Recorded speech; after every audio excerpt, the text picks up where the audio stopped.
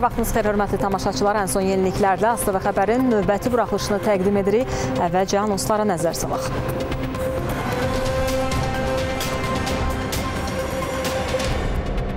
Azərbaycan prezidenti İlham Əliyev və Belarus prezidenti Aleksandr Lukaşenkonun iştirakı ilə Azərbaycan-Belarus sənədləri imzalandı. Dövlət başçıları mətbuata bəyanatlarla çıxış etdilər. Fransa hakimiyyəti Yeni Kaledoniyada zorakılığı davam etdirir. Aksiyaları dağıtmaq, müstəqillik çağırışlarını boğmaq üçün adaya əlavə qoşun yeridilir. İsrail ordusu Cəbəliyyə qaçqın düşərgəsində geniş miqyaslı əməliyyatı davam etdirir. Netanyahu dəqiq sayı açıqladı. Qəzada 35 min terrorçu insanların sıx məskunlaşdığı ərazilərdə 50 metr dərinlikdə tunellərdə gizlənib. Odlu silahla vurulan Slovakiyanın baş naziri Robert Fico üçün həyati təhlükə sovuşdu. Sui-qəstin yeni təfərrüatları var. İndi isə ətraflı. Azərbaycana dövlət səfərinə gələn Belarus Respublikasının prezidenti Aleksandr Lukaşenkonun bugün rəsmi qarşılanma mərasimi olub.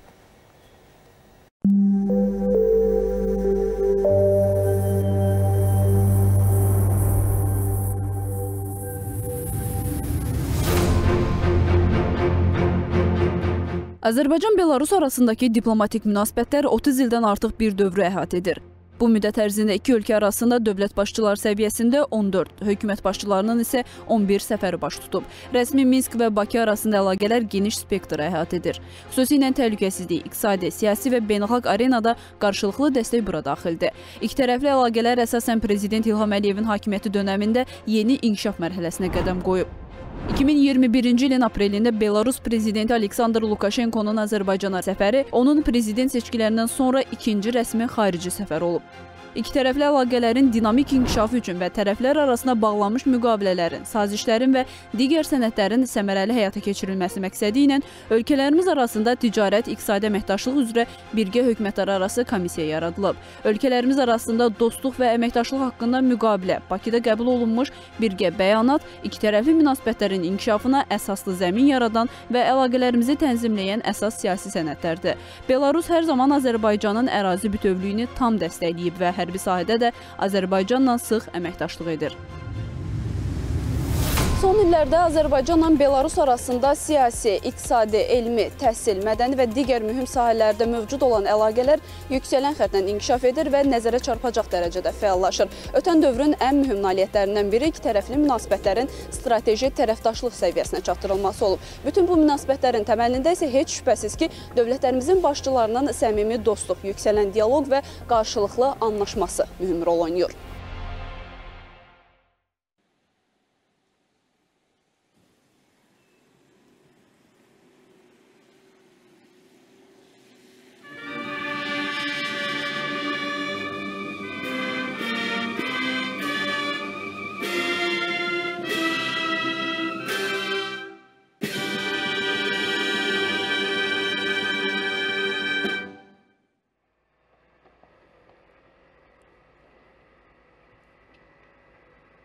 Azərbaycan prezidenti İlham Əliyev Belarus prezidenti Aleksandr Lukaşenkonu qarşıladı.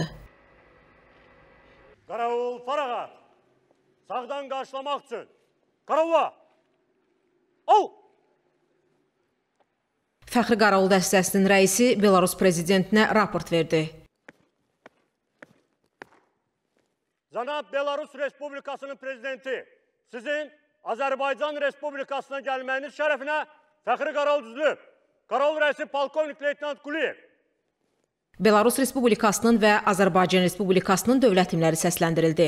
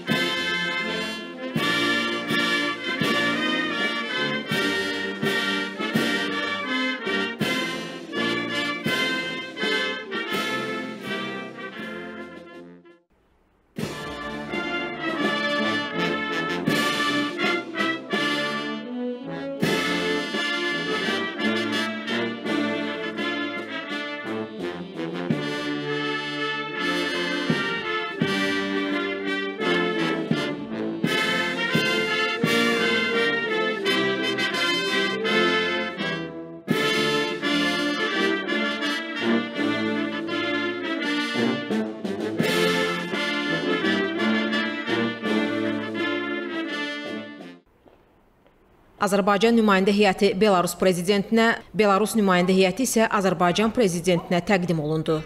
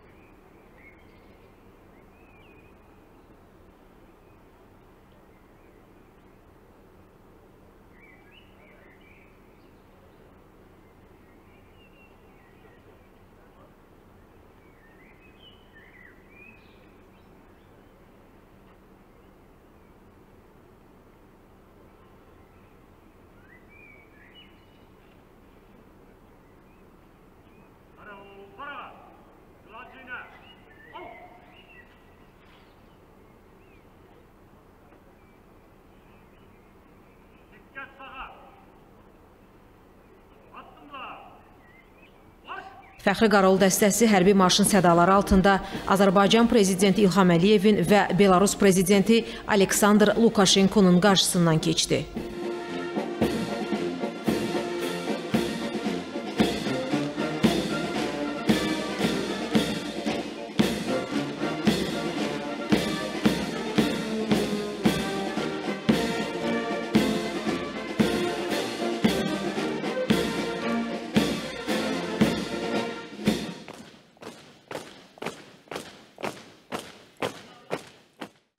Dövlət başçıları rəsmi foto çəkdirdilər.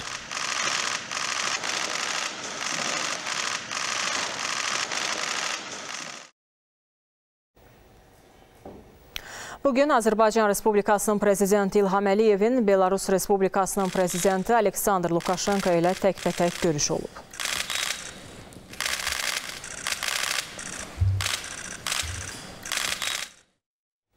Bugün Azərbaycan Respublikasının prezidenti İlham Əliyevin Belarus Respublikasının prezidenti Aleksandr Lukashenko ilə geniş tərkibdə görüş olub. Bununla bağlı hazırlanan geniş reportaja bugünkü proqramımızda baxa bilərsiniz.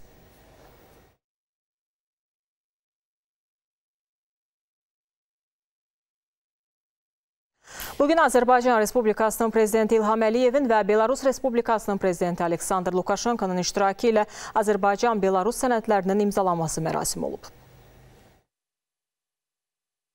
Azərbaycan Respublikası Dövlət Gömrük Komitəsinin sədri Şahin Bağırov və Belarus Respublikası Dövlət Gömrük Komitəsinin sədri Vladimir Arlovski Azərbaycan Respublikası hökuməti və Belarus Respublikası hökuməti arasında malların mənşəyinin sertifikatlaşdırılmasının elektron sisteminin qarşılıqlı tətbiqi haqqında protokolu imzaladılar.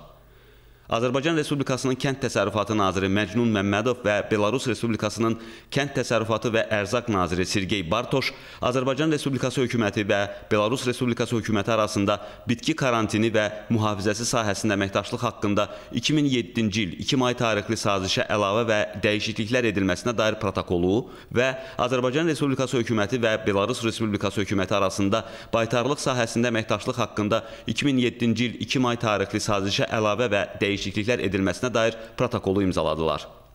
Azərbaycan Respublikasının Xarici İşlər Naziri Ceyhun Bayramov və Belarus Respublikasının Xarici İşlər Naziri Sergey Aleynik Azərbaycan Respublikasının Dövlət Turizm Agentliyi ilə Belarus Respublikasının İdman və Turizm Nazirliyi arasında turizm sahəsində əməkdaşlığın inkişafına dair 2024-2025-ci illər üzrə tədbirlər planını imzaladılar.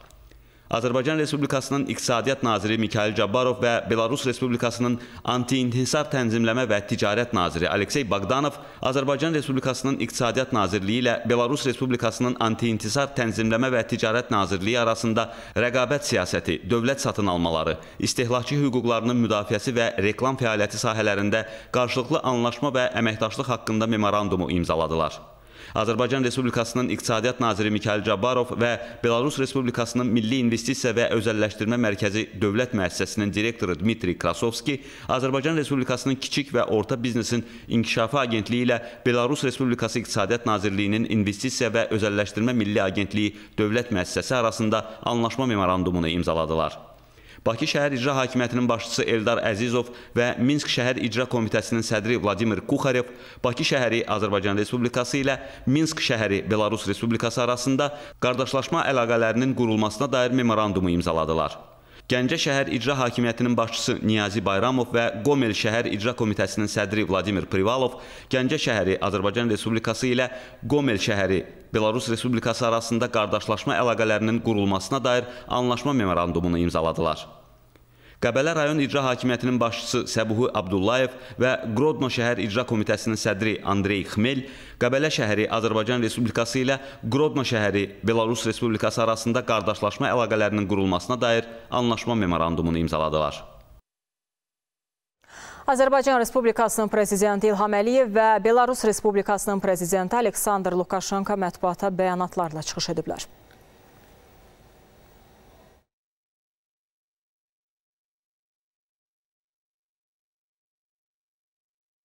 Bugün Azərbaycan prezidenti İlham Əliyev və Belarus prezidenti Aleksandr Lukaşenko Bakı Expo mərkəzində 17-ci Azərbaycan Beynəlxalq Kənd Təsərrüfatı Kaspiyan Agro və 29-cu Azərbaycan Beynəlxalq Qida Sənayesi Interfood Azərbaycan sərgiləri ilə tanış olublar. Bunlarla bağlı hazırlanan geniş reportaja bugünkü proqramımızda baxa bilərsiniz.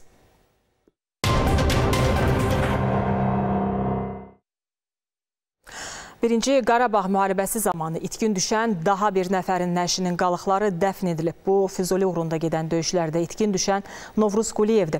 Onun Xocavəndin Edilli kəndində kütləvi məzarlıqda aşkarlanan nəşi Füzulidə izdihamla qarşılanıb və ailəsinin yaşadığı qəsəbəyə gətirilib. Burada keçirilən vida mərasimindən sonra Bala Bəhmənli kənd məzarlığında dəfn edilib. Dəfn mərasimində şəhidin ailə üzvləri, yaxınları ilə yanaşı rayon ictimaiyyətinin nümayəndələri iştirak ediblər. Abidələrimiz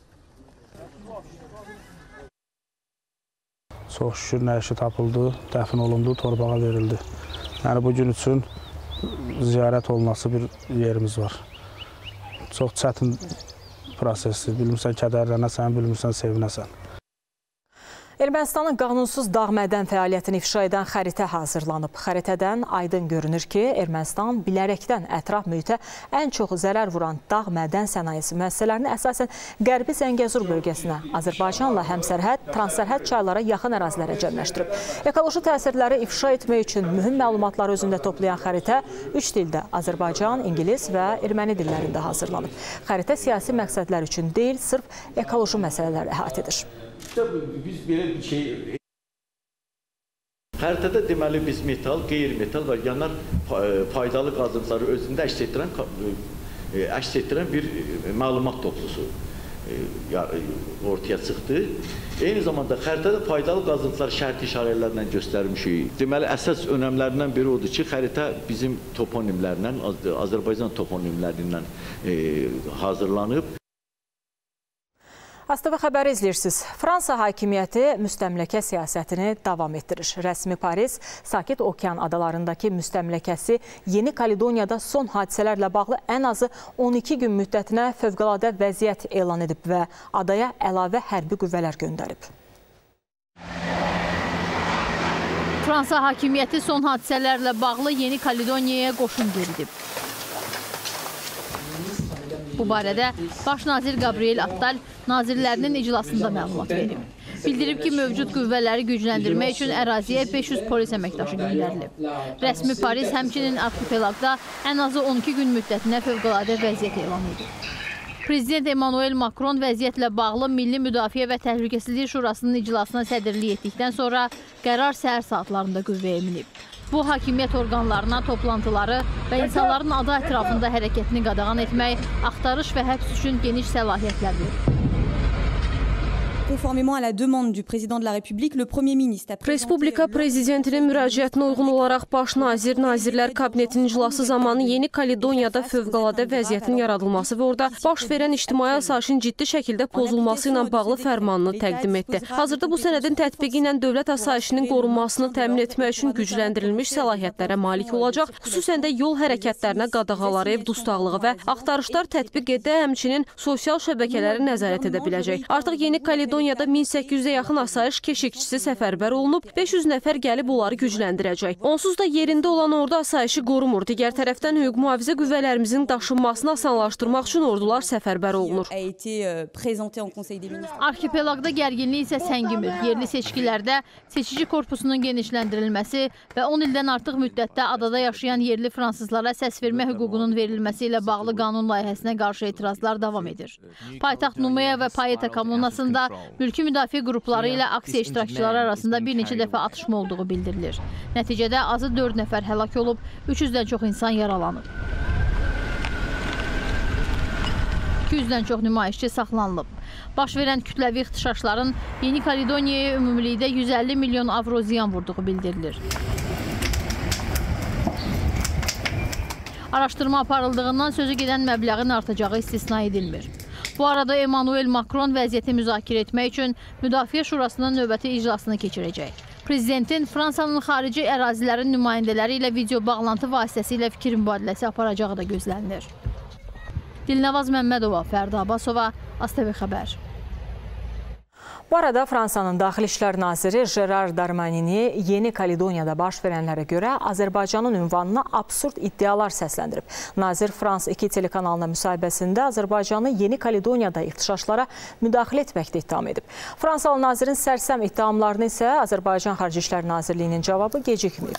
Xarici İşlər Nazirliyinin mətbuat xidmətinin rəhbəri Ayxan Hacızadə Darmaninin ittihamlarına cavab olaraq Fransa tərəfinin Azərbaycana qarşı təhqiramiz ifadələrini bir daha qəti qətiyyətlə pisləyərək ermənilərin kütləvi şəkildə qətlə yetirilməsi kimi qəbul edilməz ittihamlarla Azərbaycana qarşı apardığı qarayaxma kampaniyasını dayandırmağı tələb edib.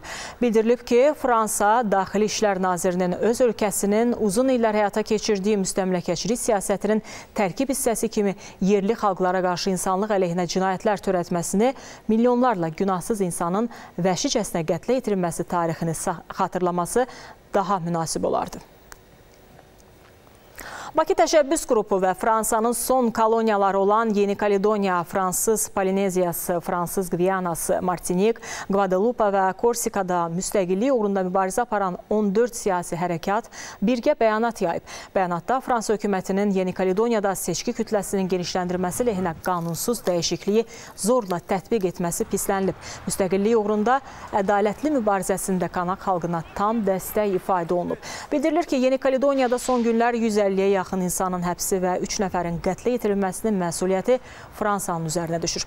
Fransanın Kanak xalqını seçki elektoratını genişləndirmək məsələsində azlıqda qoyması mövcud vəziyyəti pisləşdirir. Bəyanatda Fransa müstəmləkə siyasətini dayandırmağa çağırılır.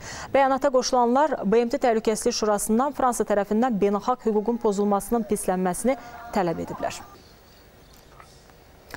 Tuvalu'nun general qubernatoru Falani Tofinga, Tonga Krallığının baş naziri Savalene Siaosi Ofaki Vahafulau və Baham Adaları Birliyinin Xarici İşlər naziri Michel Frederick Audley mayın 13-də Azərbaycanda Prezident İlham Əliyevlə keçirdikləri görüşdən sonra Bakı kommunikesini qəbul ediblər. Kommunikedə COP29-a sədrliyi çərçivəsində inkişaf etməkdə olan kiçik ada dövlətlərinin üzləşdiyi problemlərə göstərilən diqqətə görə Prezident İlham Əliyevə təşəkkür ifadə olunur. COP29-un inklüziv, şəffaf və neytral platform olacağına əminlik ifadə edilir. İqlim davamlılığının artırılması məqsədi ilə sülhün, yardımın və bərpanın gücləndirilməsinin vacibliyi vurğulanaraq kiçik ada dövlətləri ilə COP29 çərçivəsində aparılan əməkdaşlıq və dialoq təqdir olunur.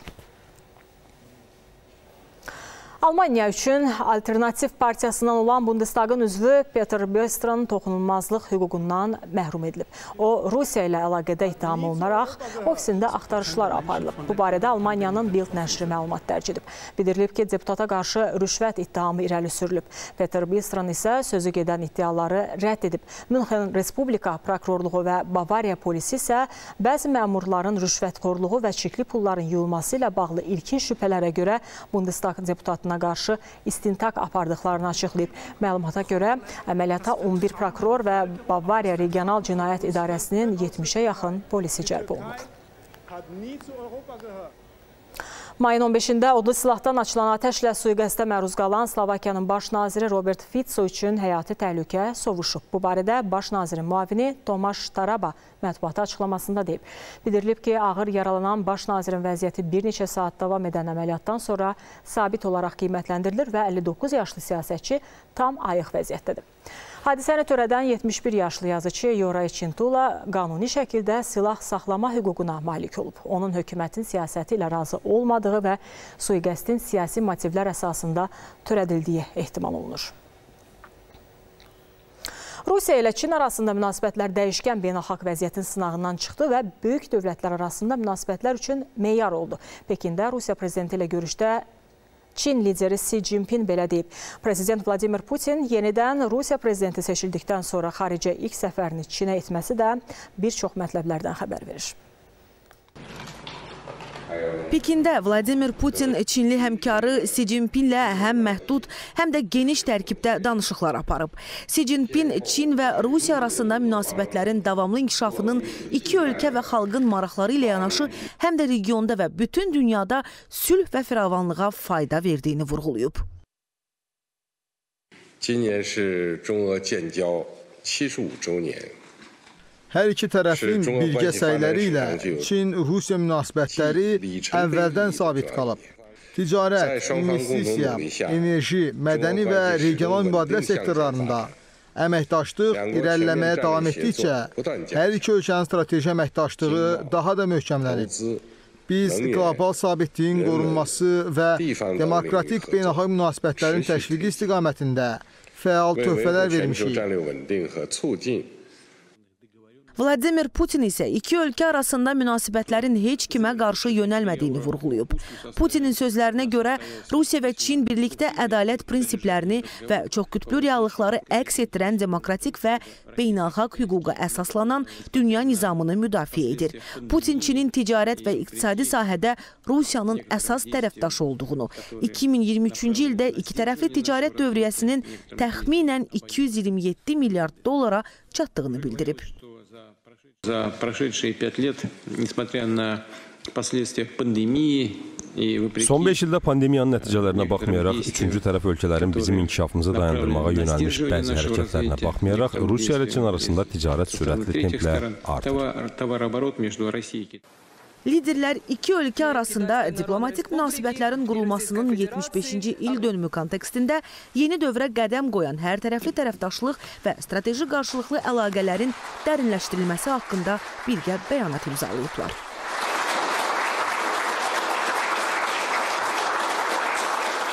Çin-Rusiya münasibətləri artıq yeni eraya qədəm qoyur. Bu fikir iki ölkə liderinin imzaladığı birgə bəyanatda yer alır. Sənəddə həmçinin Çinlə Rusiya arasında tərəfdaşlıq və strateji əməkdaşlığın dərinləşməsi də qeyd olunur. Xavər Əliyeva, Afaq Cəfərova, Rəşidə Zülfüqarova, ASTV xəbər. Qəzza zolağında vəziyyət getdikcə daha da gərginləşir. İsrail ordusu Cəbəliyə qaçqın düşərgəsi ərazisində başladığı geniş miqyaslı əməliyyatı davam etdirir. İsrailin baş naziri CNBC telekanalına müsahibəsində Qəzzada hərbi əməliyyatlar zamanı üzləşdikləri çətinliklərdən, rəfahda planlaşdırılan əməliyyatdan danışıb. Həması mülki əhali arasında itkilərin artmasına səbəb olmaqda günahlandırıb. İsrail Müdafiə Qüvvələrinin indiyədək heç bir ordunun üzləşmədiyi çətinliklərlə qarşılaşdığını deyən baş nazir Benyamin Netanyahu 35 min terrorçunun insanların sıx məskunlaşdığı ərazilərdə, bəzən 50 metr dərinlikdə tunellərdə gizləndiklərinə diqqət çəkib. Hökumət başçısı rəfahda planlaşdırılan əməliyyat barədə də danışıb. Hazırda biz bu müharibədə qalib gəlmək üçün etməli olduğumuzu edirik. Biz Həmasın silahlı qruplaşmalarını məhv etməliyik. Qəzzada onların 4 terrorçu batalyonu qalıb. Biz onları orada saxlaya bilmərik, çünki onlar Qəzza zolağını yenidən ələ keçirib öz hərbi güclərini artıracaqlar. İsrailin baş naziri Həmas silahlıları ilə mübarizə apararkən ehtiyatla davrandıqlarını, mülki şəxsləri təxliyə etdiklərini qeyd edib. Netanyahunun sözlərinə görə indiyədək rəfahdan yarım milyon adam təxliyə olunub. Baş nazir Vaşinqtonun İsrailə dəstəyi məsələsinə də toxunub. O bunu yüksək qiymətləndirdiklərini desə də, Həmasa qarşı mübarizədə Amerika Birləşmiş Ştatlarının yardımı olmadan da qalib gəlməyin mümkün olduğunu qeyd edib. Aparıcının Amerikanın dəstəyi olmadan bu döyüşdə qalib gələ bilərsinizmi sualına Netanyahunun reaksiyası belə olub. Bəli, Baxmayaraq ki, biz Amerikanın yardımını qiymətləndiririk, Amerikanın dəstəyini istəyirik. Amerikanın dəstəyini almaq üçün əlimdən gələni edəcəm. Amma mövcudluğumuz və təhlükəsizliyimiz bahasına deyil. Biz qalib gəlməliyik. Başqa seçimimiz yoxdur. Bu arada İsrail ordusu Qəzzanın şimalında Cəbəliyyə qaçqın düşərgəsi ərazisində başladığı geniş miqyaslı əməliyyatı davam etdirir. Ölkə mediasının yaydığı məlumata görə ötən gün artilleriya və aviasiya qüvvələrinin dəstəyi ilə Cəbəliyyənin mərkəzində terrorçulara məxsus xeyli sayda obyekt məhv edilib. Fərda Abbasova, ASTV xəbər. Qardaş Türkiyənin Konya şəhərində Anadolu Ankası 2024 beynəlxalq axtarış xilas etmə təlimləri davam edir. Azərbaycan hərbiçilərinin də iştirak etdiyi təlimlərin bugünü media üçün açıq olub. Azərbaycan televiziyasının çəkiliş qrupu da təlimləri izləyib. İndi biz Konyaya təlim məkanına bağlanırıq. Ətraflı məlumatı xüsusi müxbirimiz Yalçın Tahiroğlu çatdıracaq. Yalçın, buyurun, efirdəsiz.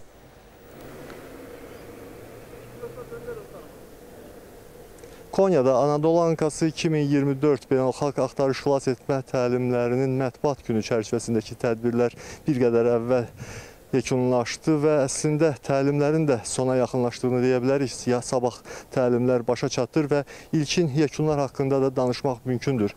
7 ölkə iştirak edirdi. Azərbaycan, Türkiyə, Polşa, Rumıniya, Səudiyyə Ərəbistanı və Qətərlə yanaşı son anda təlimlərə qoşulan Slovakiya da burada təmsil olunurdu və ölkəmiz hərbi hava qüvvələrinin paraşüt desant və axtarış xilas etmə xidmətinin bir qrup şəxsi heyəti, iki ədəd Su-25 təyyarəsi təlimlərə cəlb olunmuşdu. Eyni zamanda hərbi dəniz qüvvələrimizin xüsusi təyinatlarının bir qrupu da burada təmsil olunurdu. İlkin qiymətləndirmələrə görə təlimlər yüksək səviyyədə keçdi. Qoyulan bütün vəzifələr, tapşırıqlar uğurla yerinə yetirildi. O cümlədən Azərbaycanın hərbi qulluqçuları bu tapşırıqların yerinə yetirilməsində mühüm töhfələr verib fəal iştirak ediblər. Ümumiyyətlə Azərbaycan üçün artıq bir çox hadisə, tədbir Prezident İlham Əliyevin bəyan etdiyi kimi ölkəmizdə yeni dövr başlayıb, xalqımız üçün yeni dövr başlayıb və biz artıq bütün hadisələr, bir çox məsələlərə torpaqlarımızın, ərazi bütövlüyümüzün və suverenliyimizin tam bərpa edilməsindən əvvəlki və sonraki dövr prizmasından yanaşırıq. Bu baxımdan Konyadakı təlimlər e, tam ərazi bütövlüyümüz və suverenliyimiz tam bərpa edildikdən sonra ilk buradakı tə təlim idi, amma ənənəvi olaraq Azərbaycan hər zaman burada iştirak edirdi və ona görə müqayisə olaraq deyə bilərək ki, əgər uzun illər əvvəl Azərbaycan hərbi qulluqçuları bu cür təlimlərdə öz peşəkarlıq, hazırlıq səviyyəsini yüksəltməyə çalışırdılar, beynəlxalq təcrübədən yararlanmağa çalışırdılarsa, indi artıq başqa ölkələrin hərbi qulluqçuları Azərbaycandan, Azərbaycanın ə, hərbi qulluqçularının peşəkarlığından, ə, vətənsevərliyindən, ə, bilik və bacarığından yararlanmağa çalışırlar. Çünki bütün bunlar həm 44 günlük vətən müharibəsi, həm də ə, 23 saatlıq antiterror tədbirləri zamanı ən yüksək səviyyədə göstərilib, nümayiş olunub bütün dünyaya. E, təlimlər haqqında Konyadan çatdıra biləcəklərimiz bundan ibarətdir. Söz yenidən sizdədir. Təşəkkür edirəm. Bir daha xatırladım ki, xüsusi müxbirimiz Yalçın Tahiroğlu Konyadan bizimlə birbaşa bağlantıdaydı.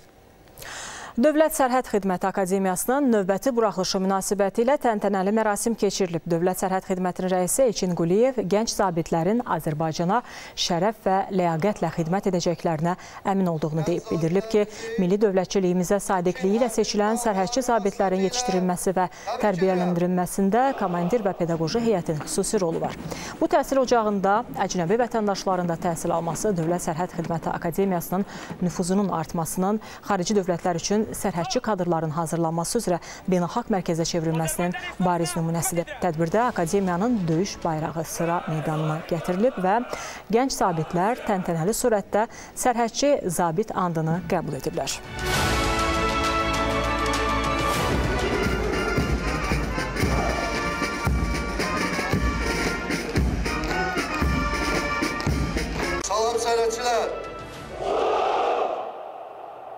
Gənc zabitlərimizi ilkin hərbi rütbə almaları Hörmətli tamaşaçılar, Azərbaycanda dövlət səfərində olan Belarus Respublikasının prezidenti Aleksandr Lukashenko fəxri xiyabana gələrək xalqımızın ümumili lideri, müasir müstəqil Azərbaycan dövlətinin memarı və qurucusu Heydər Əliyevin xatirəsini ehtiramla yad edib. Belarus prezidenti Ulu Öndər Heydər Əliyevin məzarı önünə əkril qoyub.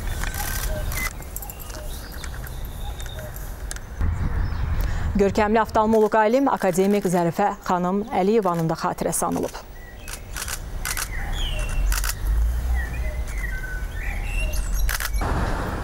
Sonra Şəhidlər Xiyabanına gələn Belarus Respublikasının prezidenti Aleksandr Lukashenko Azərbaycanın müstəqilliyi və ərazi bütövlüyü uğrunda mübarizədə canlarından keçən qəhrəman vətən övladlarının xatirəsini ehtiramla yad edib, əbədi məşəl abidəsinin önünə əkilil qoyub.